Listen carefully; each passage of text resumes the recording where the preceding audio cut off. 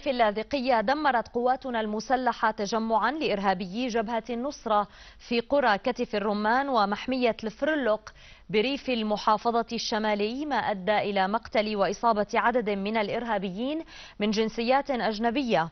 من بينهم الإرهابي عبد القادر الشيشاني وماهر الشيخ علي وعبد الرحمن الحجي.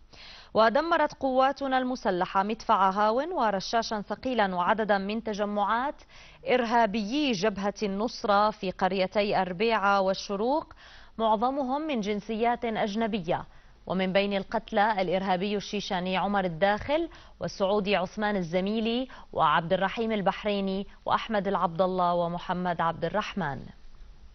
وفي ريف دمشق اشتبكت وحدة من جيشنا الباسل مع إرهابيين كانوا متحصنين داخل مركز انطلاق البولمان في منطقة حرستا وأوقعت بين صفوفهم خسائر كبيرة.